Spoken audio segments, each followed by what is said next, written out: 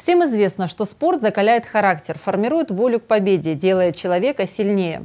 Кроме этого, способствует укреплению здоровья. Для того, чтобы славянская молодежь вела здоровый образ жизни и приобщалась к спорту, для школьников проводятся различные спортивные соревнования, где они могут не только активно с пользой провести время, но и заинтересоваться новым видом спорта, чтобы в дальнейшем им заниматься.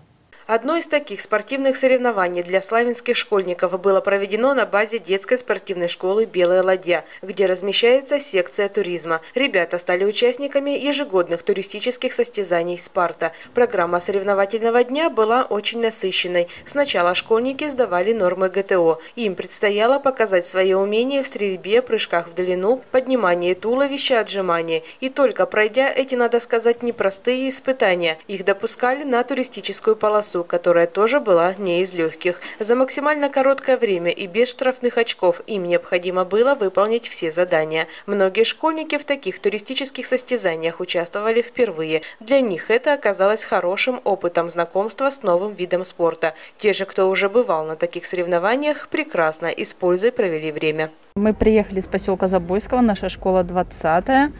Я привезла сюда ребят на соревнования. Они уже прошли нормы ГТО, сдали, все сдали хорошо. Сейчас у них полоса препятствий.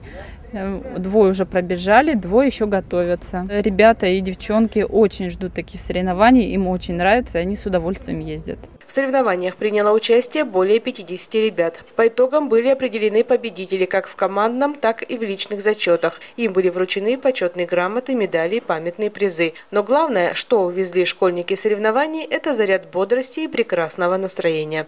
Анна Монастыренко, Георгий Калинин, программа «События».